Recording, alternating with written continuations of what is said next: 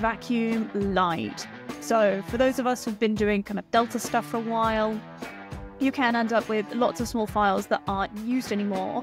But for some of you out there, the idea of doing vacuum at like the end of a pipeline fills you with absolute dread because it can take 15, 20, 30 minutes to run and you want to get your data to where it needs to be. But if you don't run it, then you'll get a really bad performance. Vacuum Lite has now been bought in, um, whereas previously Vacuum did a very thorough job of going through not just old files, but like directories, clearing up empty ones of those, arbitrary files that might be there from kind of old Delta logs.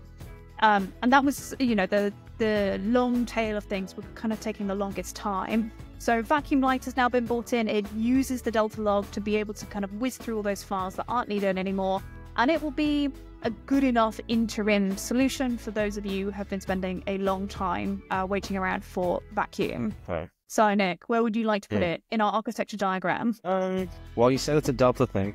Yeah, I was going to say, now that we've got AI Gateway in here, it's got like payload logging, hasn't it? So, It does. No, Yeah. you're right. It does. I mean, let's do that. That Yeah? makes sense. I, I have to do have to admit it doesn't make sense in the sense that uh no, well, it does. I'm like the reasoning LLM where I'm bouncing back and forth, uh, trying to figure out the answer. Um, because like the, the payload logging is like a append only kind of situation.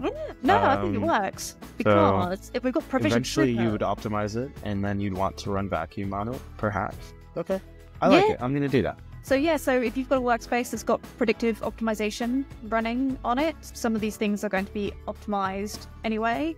I guess trying to think tangentially how this might occur in real life, and maybe if you had very uneven traffic to your LLM, maybe you've got like a peak time for one hour a day. Is it light? Is this correct? Is this I- yes, I it's light, I as in like like this? light soda rather than a light bulb. Yes. There we go.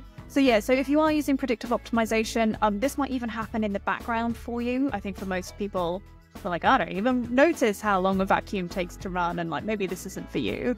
Um, but for some of you, this is going to be a real nice way to keep on top of, you know, the number of old files, the number of stale files, without having to really interrupt the pipelines that you're running.